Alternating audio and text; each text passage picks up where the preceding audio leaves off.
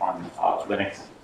And uh, before I uh, get into it, so this was a talk that was originally proposed by my colleague Ben Widawsky, and uh, I'm giving it now. So if you see some differences between like the abstract and what I'm saying, that's what's going on.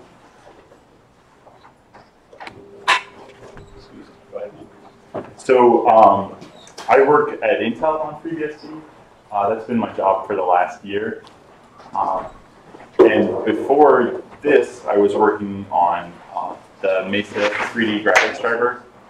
And before that, I was working on some video decode, uh, middleware stuff for Linux. And before that, I was working on Android and uh, security controller driver. So all of this is, is Linux stuff that I've done at Intel. And uh, before Intel, I uh, worked at an internet advertising company uh, on data handling, and that was on Linux. And before that, I worked at a mobile phone maker on a Linux phone. So, so uh, my whole career has been uh, Linux until uh, until last year.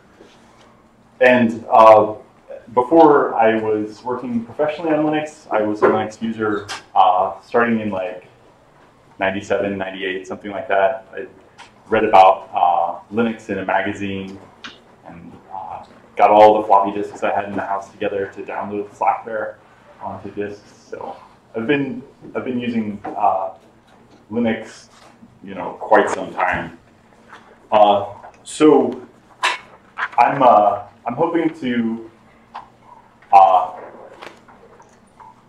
by by like sharing my experiences and the, the things I've seen, what I think is good and bad. Hoping to uh, to help out the project. So so that's the idea here. Uh, but I have some some anti goals too. Uh, first off, I think uh, if I just come up here and complain that it's not Linux, that that really misses the point. So uh, hopefully this is kind of constructive in a way more than that. Um, and if I say things that uh, have been pain points or that uh, that I don't think is the best way to do things, uh, I I don't mean to say that I think you know some specific person's doing a bad job or something like that. I think in all cases, um, you know, people are doing the right stuff, um, and a lot of times we we just need more of them doing that stuff. So so if uh, I say anything that, that comes across that way, that's just me sort of not expressing myself well. So, so keep that in mind. And um, I also, uh, I don't know, I guess I wouldn't find it super interesting if I just say, I think this, I think that. So I'm pulled together some uh, charts and stuff. And um, in, in most cases, it's, it's a pretty narrow thing that, that I'll be showing. So, um, so I'll try to be honest with that and not kind of paint with too broad strokes. So, so just keep that in mind. If I show something, keep in mind what it says and, and what it doesn't. and so, um, so I thought about uh, maybe what some of your goals would be in listening to this talk. And I think a pretty reasonable goal would be uh, to see how to kind of streamline bring uh, Linux people into um, into FreeBSD. So um, so maybe that's the the future we want to go for. So here uh, is what the past of the. Oh no. Okay, you will you'll just have to imagine all of my, all of my charts. Uh, no, let me let me just try one thing.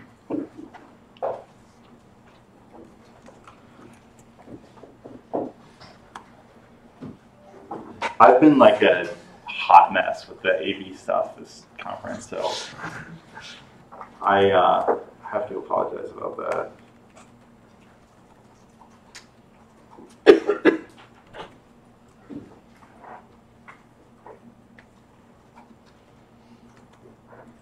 Okay, so let's.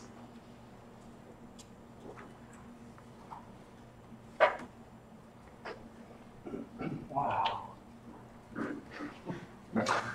Really quick. Um, that's amazing. it works on this monitor.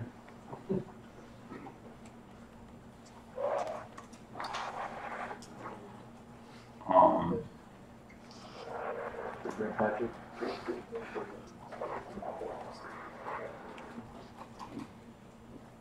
well, I'm afraid it's not going to be very interesting if you can't see this stuff. So let's let's see if we can't make this work. What in the heck?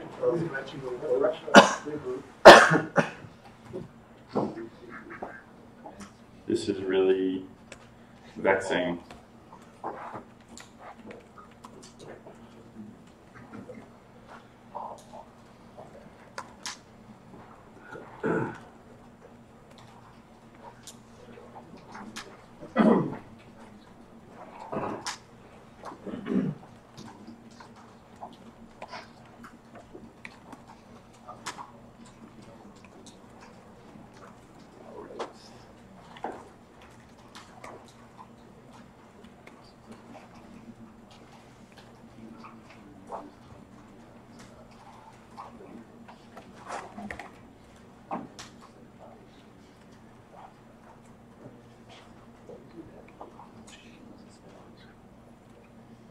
Um, yeah, this is awful. Um, can does someone have a laptop that isn't my garbage one that I can borrow for a second? I have my slides online. The, the computer that's connected to the projector there. Can Well, it won't, uh, it won't be on the screen. Oh, right, right. I have a Mac. nice. That's gonna sort of really cut through one of my arguments I'm gonna make later. so.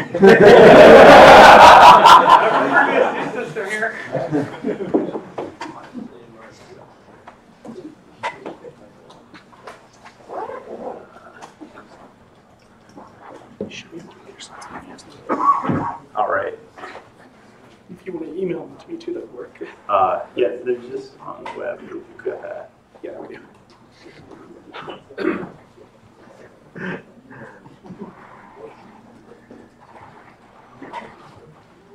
I need to like buy a projector because all of this worked great on my monitor, and uh, that just set me up for like a nice, fun fail.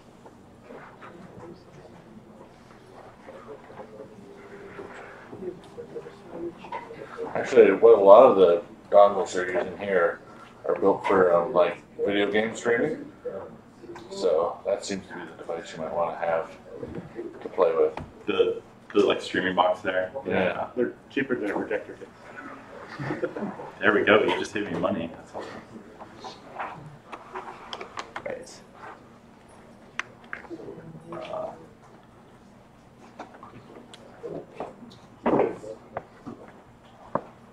Might have to hit the little presentation button to switch the screens.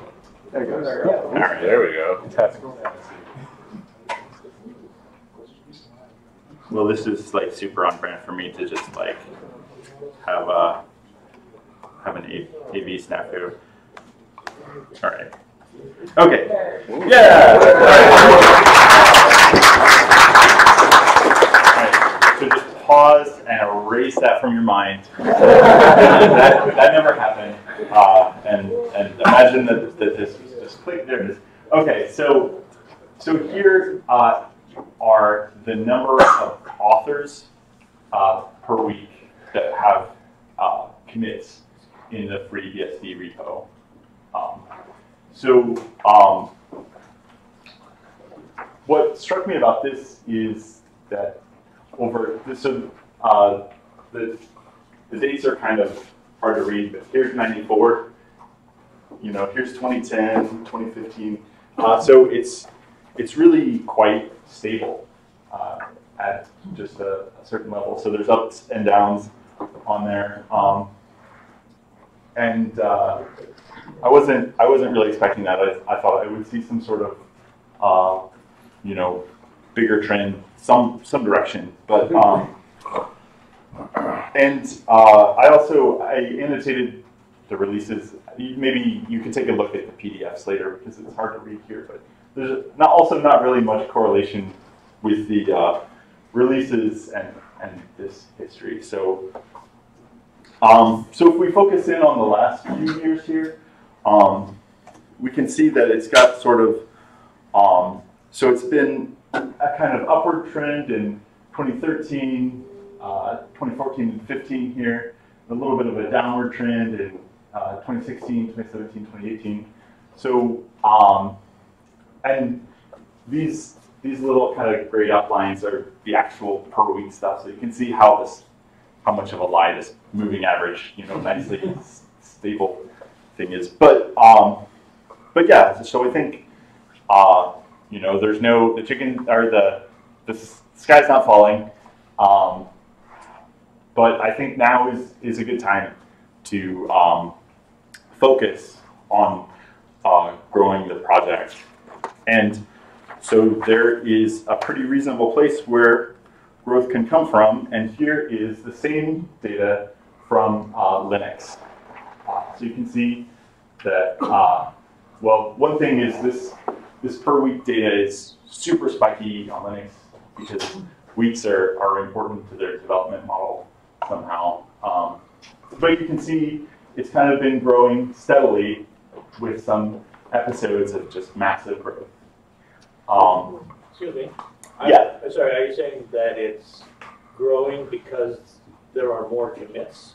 so, uh, so, so that's a good point. So this isn't the number of commits. This is the number of uh, authors in a week that have made a commit. So it kind of correlated. Uh, yes, but but it's not. Uh, okay, so so think of exactly what this is. So if there were 50 people that were committing every week, or 100 people that were committing every other week, you wouldn't really be able to see the difference. So so I don't think uh, you can look at this and and kind of comparatively say, okay, they are that size, we are that size, but um, but I think the trend over time uh, is meaningful. Um, what's the definition of Linux here? Is this just the Linux kernel? So this is uh, Linux kernel, Git repo. Yeah, exactly. So, um, so uh, this is a pool of people that work on uh, open source operating systems uh, that I think that there are, you know, reasonable candidates that could, could come work for our project. And I think it's also worth noting that uh, this growth isn't at the expense of, uh, of FreeBSD. So as Linux goes up, FreeBSD is not going down. Um, so, um, so that's good, right? They're they're not taking all our people away. Um, it also could mean that uh, that that transfer between projects isn't a sort of smooth thing that you know someone can just go back and forth. So. Um, so they're out there, and, and maybe we can think about uh, how we could um, bring them here. Um, okay, so that's that's uh, growth in the um, the two uh, projects. Um, so I'm going to talk about some specific uh, experiences uh, I've had and some specific pain points. Uh, oh, cool. Uh, so. Um, so I, I think um, first off, you know, why why do you want to run uh, FreeBSD on your laptop, right? It's the power to serve, not the power to laptop. But um, but this is something that I've uh, in my experience with Linux, this has been really beneficial to choose to, to go through the pain of using it and, and making it good, right? And and it's sort of a two way thing. You know, you uh, have it in front of you all the time, and so you're uh, getting better from that, and you're also you have the chance to fix bugs and uh, and kind of if if everyone piles onto that, then we can kind of like incrementally make it better. So. Um, and, and also, before I talk about this too much, uh, it's not a totally fair comparison. So when I was using Linux, I was using uh, desktop-oriented distros, and so Free, FreeBSD isn't that. It's not a you know specific focus of the project. So so it's not a totally apples to apples thing. Uh, but I think the biggest uh, problem that I've had is that uh, the battery doesn't last. So uh, idle power is somewhere like 50 to 100% more than Linux is. Uh, and, you know, so that's uh, a quarter to a half of your battery life gone. And the, the culprit uh, in the cases that I've looked at are um, just various devices that are always in their highest power state. So that's something that is not super difficult to uh, just manually address. So uh, having the default for devices we don't know about, the uh, D3, uh, helps a lot with the power usage. So um, I have a laptop that has a wired Ethernet uh, port, and that just sort of sits and happily draws half a watt all the time uh, while the while the driver is attached. So um, this is probably not something that is super difficult to uh, to make a pretty big impact if you know just a, a program that, that people can install that okay now I run you in the init uh, sequence and just kill kill power to anything that's not in use now. Um, so another uh, pain point I've had is uh, is the Wi-Fi. Uh, so uh, it, it's actually stability has been great for me. Um, I haven't had problem, problems with functionality, uh, but the the throughput is is pretty low, and I don't have anything super constructive to offer here. Um, I think uh, Linux has really benefited from from first party drivers, so companies that are going and enabling their own chips, and um, that's not something we've got. I I think we've just got to support our developers and uh, help help them out however we can. Um, and also uh, the um, just kind of a little thing. It's super duper annoying to have a modern laptop with a modern trackpad that doesn't just kind of work right. So you can you can kind of work around this with uh, some manual configuration. Uh, this is actually something that I think we're fixing pretty soon when we move up to the um, 1.20 version of the X server. That this will kind of all work more. But it's it's uh, to get a kind of nice experience. It's really important to use libinput. I think none of the other methods are, are anywhere near as, as polished. So I think some people aren't super happy with libinput, and I don't know why it works great. Um, okay, so I've got my laptop. I could, you know, insert a slide that I can't figure out how to do HDMI. That's, everyone else could, so so that's that one's on me. So um, uh, okay, so I've got my laptop running and uh, and I'm using FreeBSD. So uh, so the next thing that I noticed was the, the documentation for the project, and I think that uh, FreeBSD is really in the lead here uh, over Linux. So uh, having uh, having kind of one uh, place where the, the documentation is grown is just makes it feel more uh, consistent and informative. So on Linux, you know, all the documentation will be taken from all the uh, specific projects where, where that work is done. And, um, you know, it, like, is a frustratingly common occurrence on Linux to open a man page and it says, ah, your, your documentation is somewhere else. try, try info. I'm like, okay, well, it's, it's not there either. the Um, princess is in another castle. Yeah. And so, um, so it's it's really refreshing that uh, I have a system, and the system tells me how to use it too. That's that has was not really my experience uh, on Linux. The value of one source stream. Yeah, exactly. Um, and uh, specifically, section nine of the the man pages was like, you know, a total revelation. On, on Linux, there's just an empty directory of that stuff. So, Oh, that's terrible. Complete, well, the ones that exist are nice, but there's not coverage. there, I mean, so there's always room for more documentation for sure. but yeah, this the stuff that's that's there is, is really good, and that's not to say that there's not uh, Linux documentation. There definitely is, but um, but it's the format is sort of whatever the guy that did the thing felt like doing. Don't forget that man hier tells you where to put your Webster dictionary and everything else. Nice. Um, and I think the um, the content in the handbooks too is is really great. Uh, the sort of comparable uh, documentation that you get in Linux is from like if you've got um, an enterprise distro or something, maybe they'll put together a whole uh, manual about how to operate the system. And uh, you know, it it's all distro specific too, so um, you might you might not uh, you know find information that's for the wrong version of, of your distro or for a different distro. So um, yeah, so I think that it's really uh, this is a place where FreeBSD really shines. Um, and then, uh, okay, so on Linux, I would do random web searches to figure out stuff, and now I can do, um, I can look at man pages and stuff. So the flip side of that is that random web searches seem like they're less effective.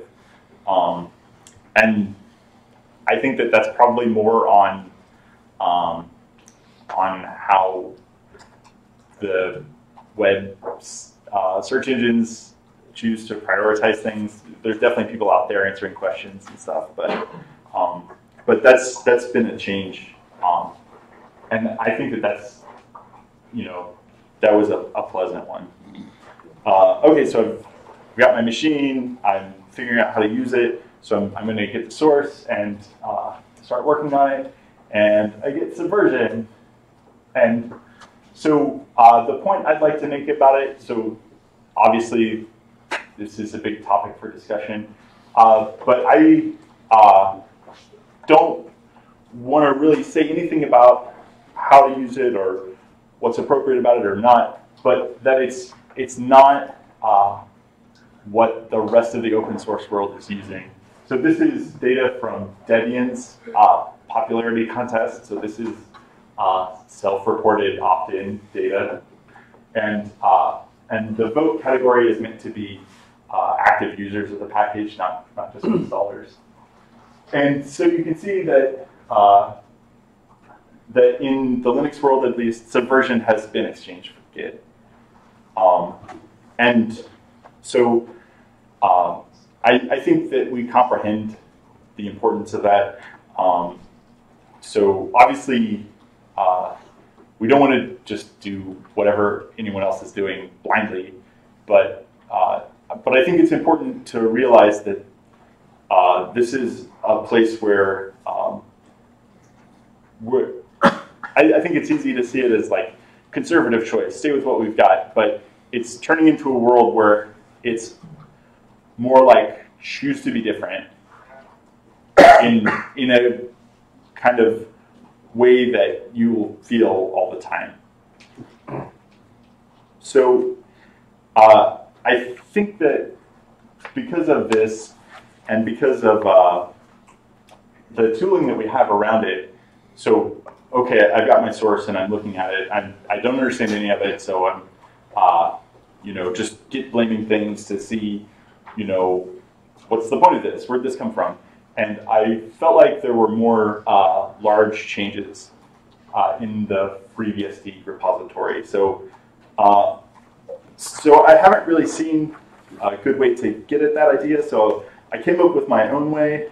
Um, yeah, so uh, in Linux, this is this is kind of a um, a choice to just like hold the line, you know, make make sure that the changes are small and and self-identified. So okay, so here's uh, what I came up with to try to get at this information. So uh, so I took uh, every line in uh, every line of source in the repository and uh, minus contrib for FreeBSD and uh, and just uh, git blame that file. And then for every line, uh, with that line, how big was the commit that that brought in that line? And then I I aggregate that here. So this is um, this is like a logarithmic scale. So here's a thousand lines, here's ten thousand, here's a hundred thousand.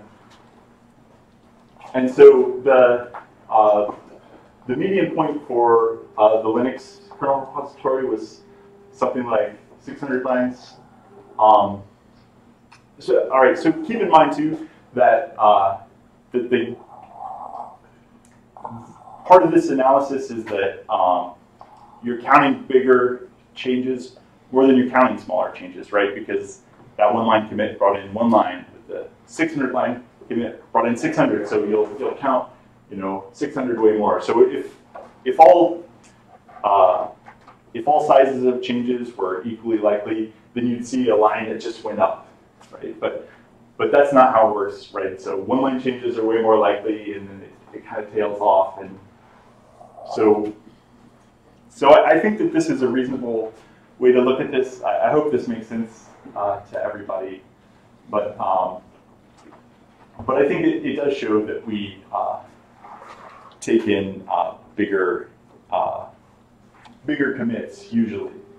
Um, so um, right, so I think one other thing to to think of when you look at at this, uh, comparing the two um, the two data sets kind of side by side is a little bit. Uh, I, I'm not sure that that makes a lot of sense because these points are the fractions, you know, the fraction of source lines that are categorized this way. So if, if one point went up, then that would push the other points down. So, so seeing here where, uh, you know, these points are high and these points are low, I, I don't think that that's, that's a reasonable kind of comparison. I think you want to just look at, at the shape of it to see, you know, the relative importance in. Sorry, in it's hard to read your labels out. Which line is which there?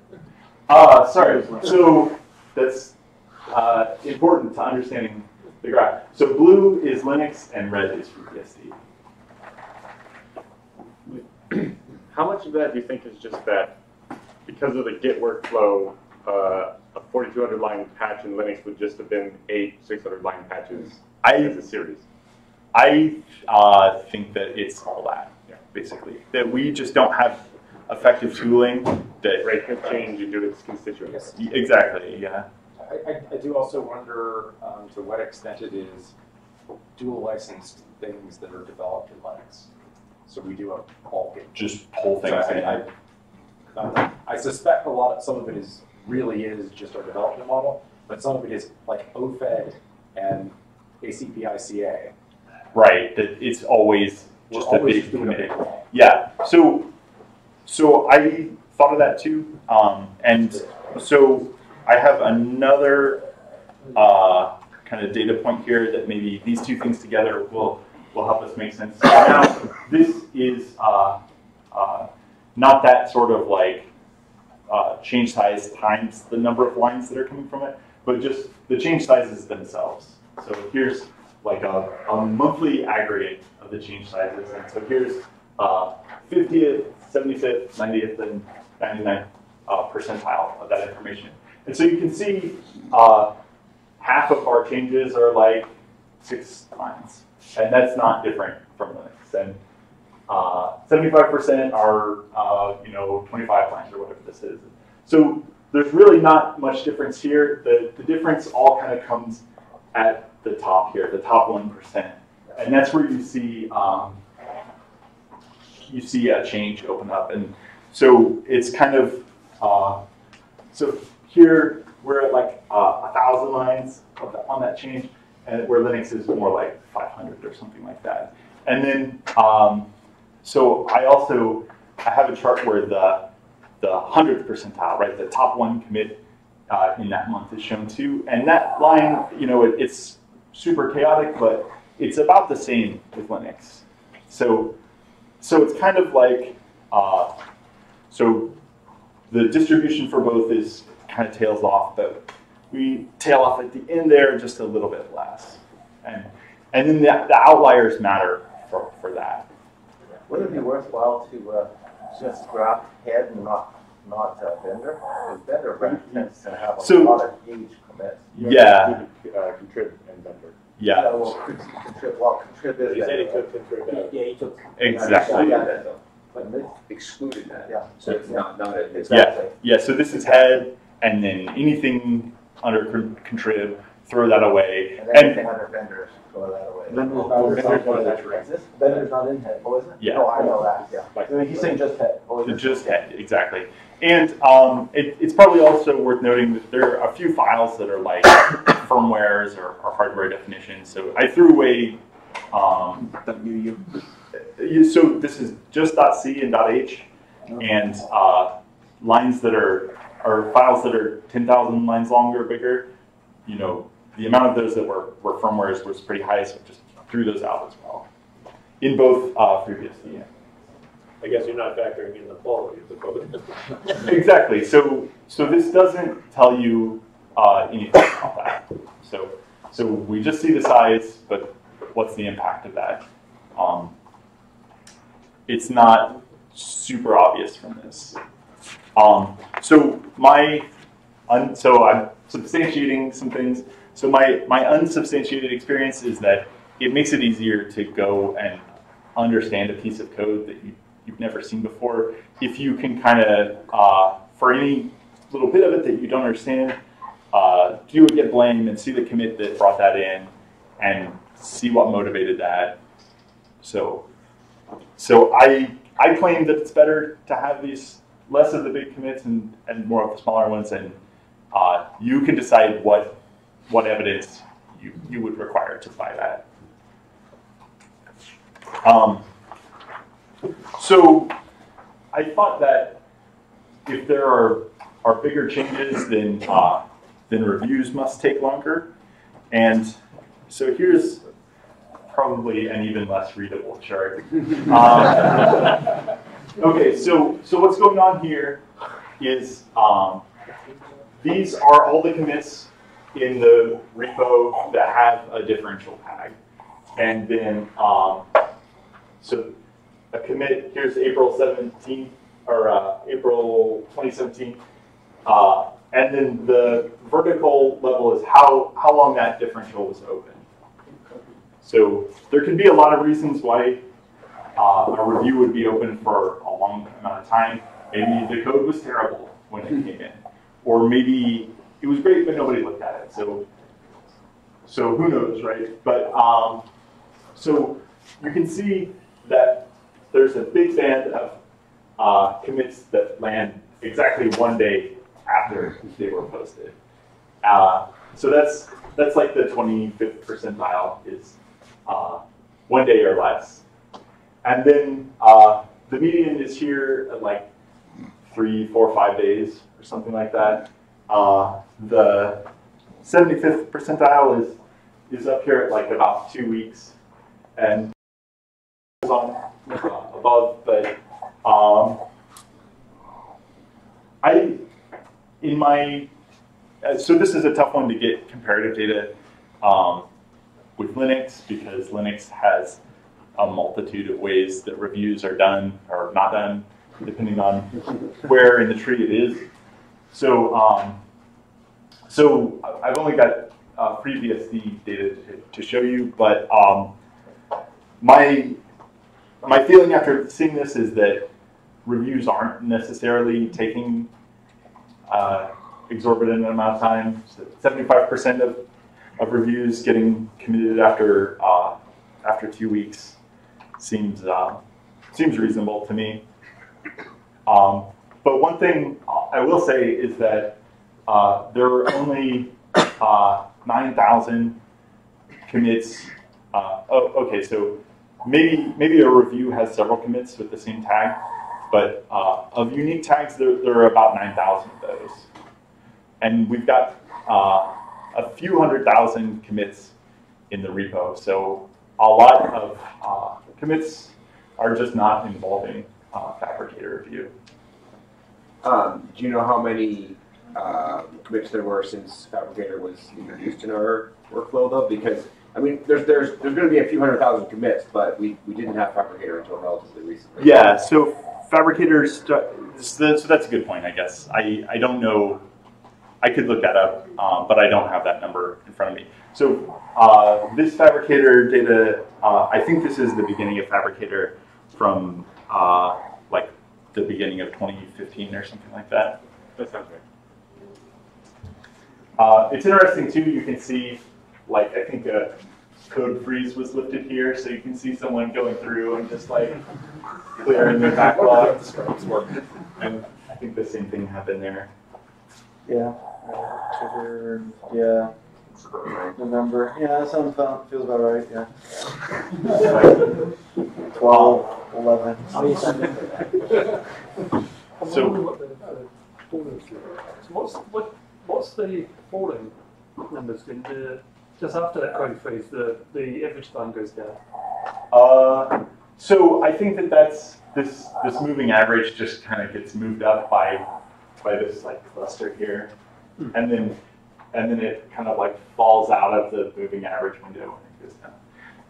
So um, so I guess I don't give up my right to complain about code reviews, but I don't have data that says that they're slow. So so it, as far as I can tell, it's fine.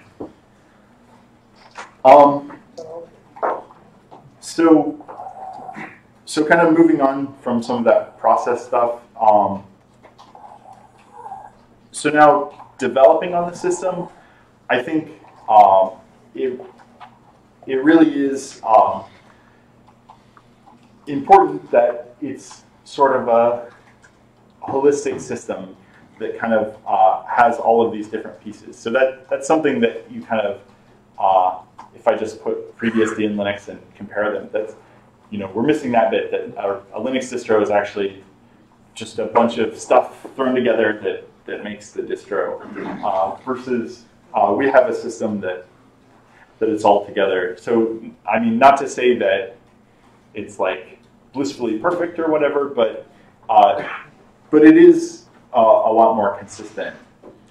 Um, and I think that we have the ability to um, to evolve pieces together um, is is something that really uh, can let us, you know, move more quickly.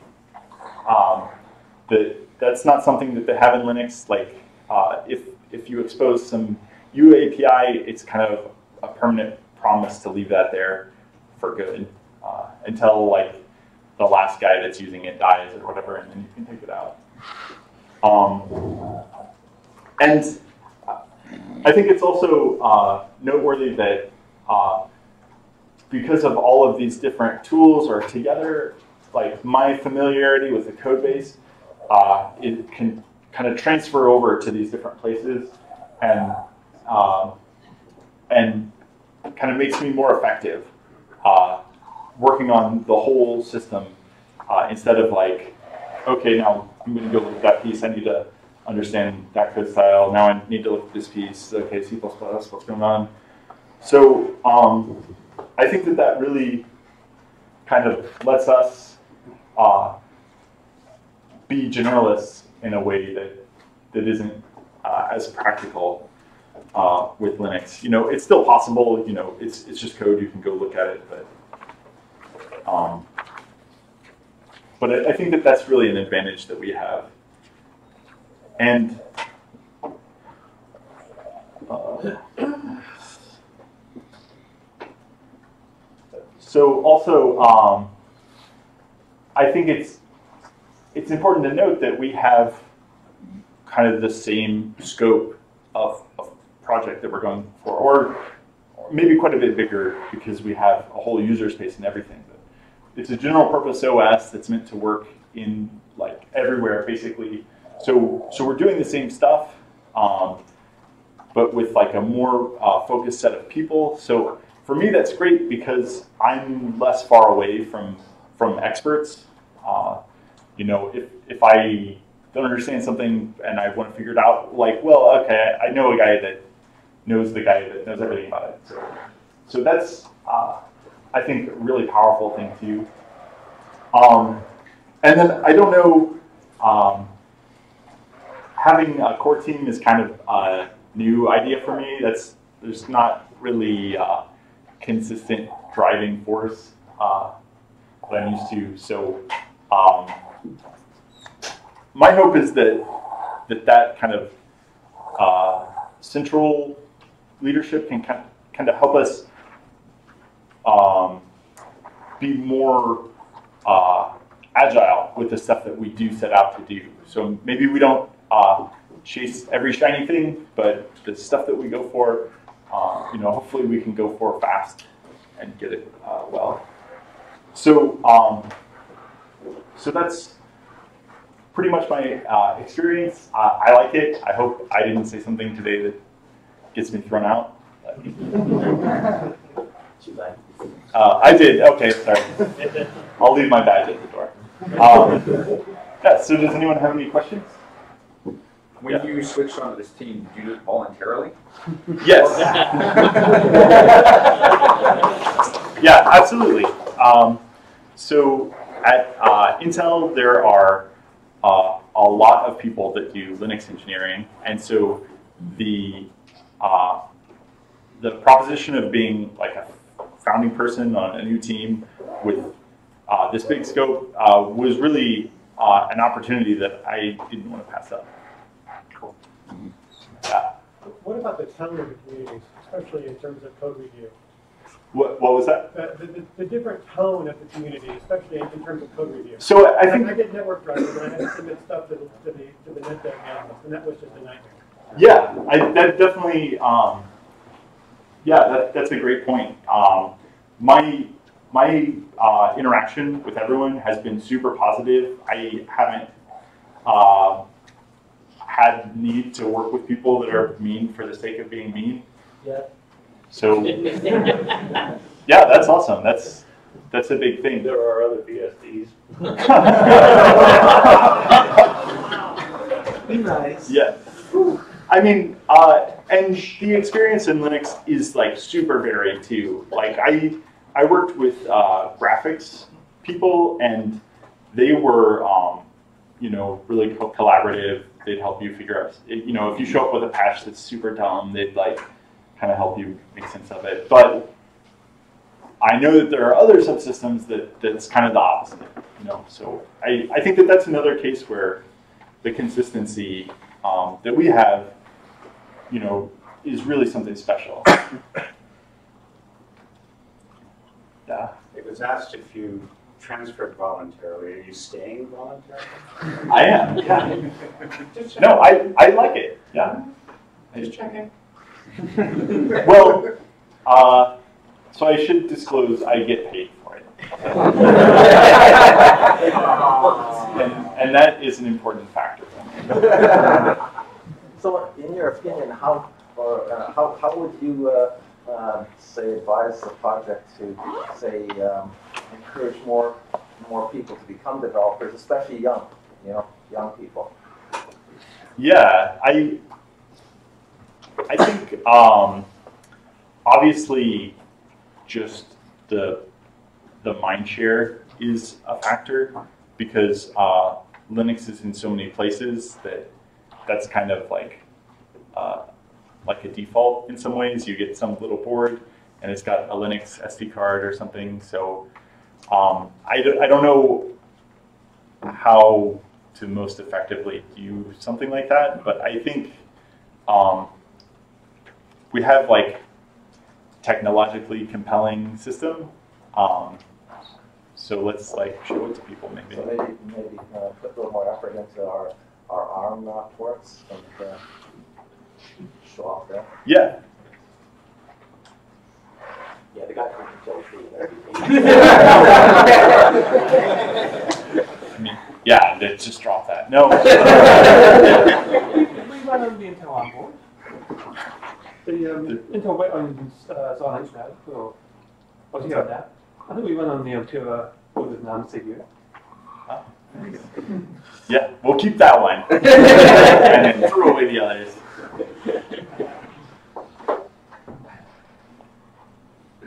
Cool. All right. Thanks for your time, everybody.